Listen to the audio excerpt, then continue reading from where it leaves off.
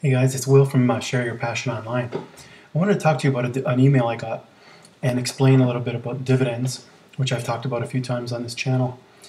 I recently got an email from the uh, my discount broker where I buy the stocks, and there's an announcement here, and it says they announce a dividend, this Emera, and that's the amount here, 475. So that's 47.5 cents per share.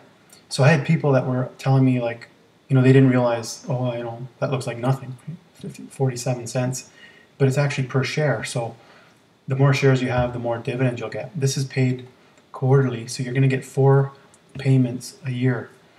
And, you know, obviously, if you had a thousand shares, you times it by a thousand, be $475 times, you know, roughly four, and you would get that amount per year. And uh, the the dividend will generally go up over time. I'll show that in, in a bit here. So every quarter, you know, it might not be exactly 475, 47.5 per share. It'll slowly increase. The other thing is when you hold a stock like this, which is a mature stock that uh, pays dividends, as you can see the stock share price. This is just going back four years, but um, from $30 here to 45, so it's gone up. So you're also going to get capital gains from the stock price going up because these these are stocks that that I've talked about before. They just they go up over time because people need these things, food, you know, food and medicine and things for your home, energy, you know, natural gas, whatever the typical uh, energy sources. So there's lots of stocks that kind of have this, like toothpaste, you know, people need that all the time. If we take a look at um, the stock that I just showed you, which is Emera, um, here's the share price going down from 1992. And its price was $11. And so you can see, you know, this is something that just continually continues to go up over time. You can buy a stock like this for $10 with a discount broker and you don't have to pay any more fees. Whereas, you know, mutual funds are always trying to time the market. And so down here is a graph. So I added the lower indicator of rolling dividends so I could see. This is a little tricky because the stock goes up and down. You can click on this and see the dividend, but it's hard to see visually that the dividend is going up over time. So this shows you the rolling dividend. So it went down from 19 cents, you can see, to you know, this is showing the uh, 40 cents. So you want to see that the dividends have continually increased over time.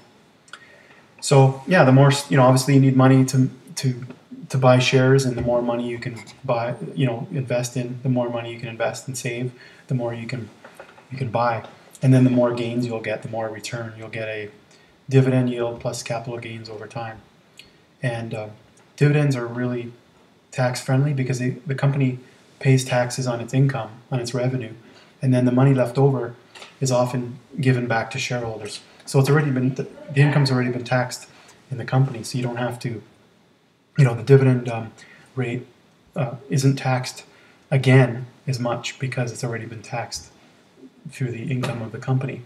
And so when people get paid dividends in your own personal situation, what they do usually is you mark up your dividend.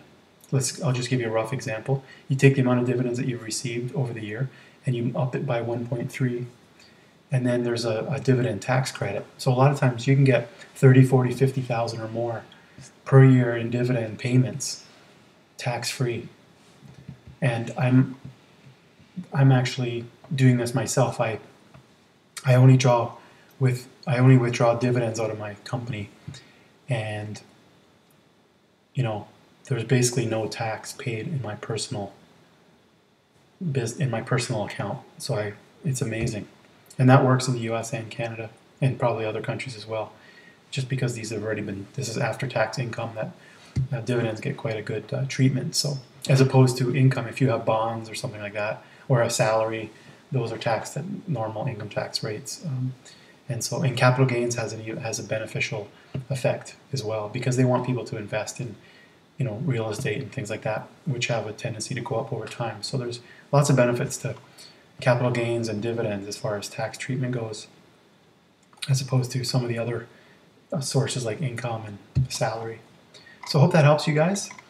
Just wanted to show you that it's really nice to get an email showing you, you know, that you're actually making money because a lot of times, you know, you buy a mutual fund, you hold it, and it goes up and down, and you know, you may you may not make any money on this over time, but these are actual. This is real money that you get paid every quarter usually, and you can do what you can either spend it, you can reinvest it. Sometimes the stock has a reinvestment plan, or sometimes you have to do it yourself.